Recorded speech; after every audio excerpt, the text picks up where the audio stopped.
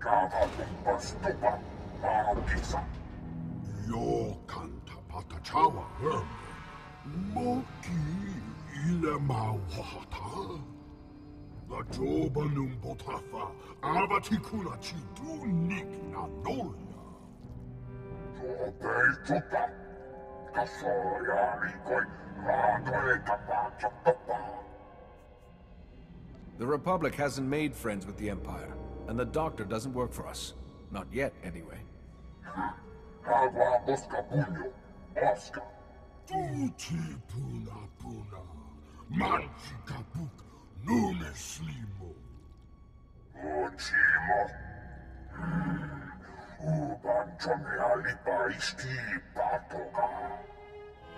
Churlish nincompoop. You can see why I was forced to lend my brilliance to your assault.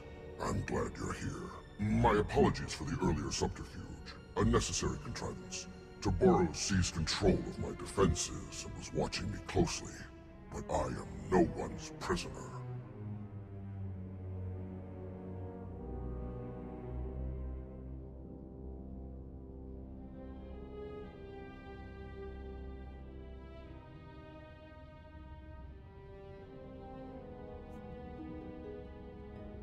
You helped us defeat your own security grid.